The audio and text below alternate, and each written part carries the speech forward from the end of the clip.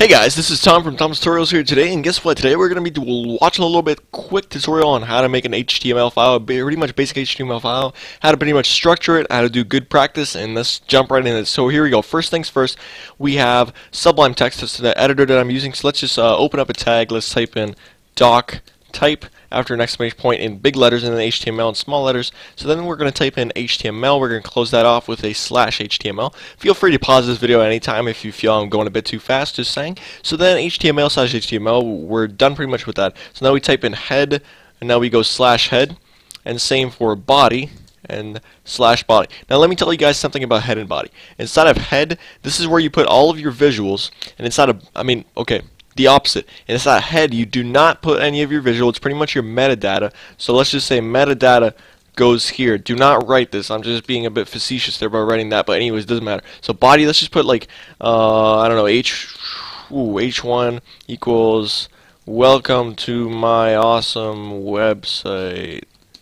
And now let's just put a subtitle real quick. Woohoo! Yay. So now, okay. So now in the head, we put all the metadata, so let's just put the title right there. So, uh, my awesome site, I don't know, home, if, if you want to do that.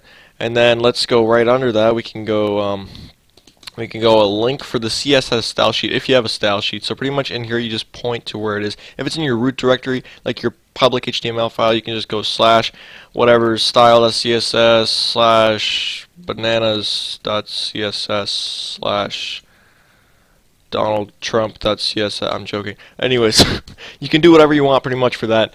Uh, like wherever it's pretty much located, even if it's in your assets folder, you can go slash assets slash CSS whatever. And if it's in the same folder that this file's in, you can just type in uh, whatever C whatever the CSS file name is. So now let's move on to JavaScript. So if we're trying to include JavaScript, we just go script, and then we go type equals text slash JavaScript. Then we go src equals, and then right in here we just do pretty much the exact same thing that we did for that, but we, uh, uh just please note that for href and src you can both do links. So you can go http colon slash slash or https I don't I don't care whatever google.com slash myscript.js kind of funny how Google hosts that for me. I'm joking that, no, that's not real. Anyways so here we go. We have a script. You can also run some pretty much basic scripts. I would recommend putting your Google AdSense scripts here because it's very important like anywhere pretty much in the head tag.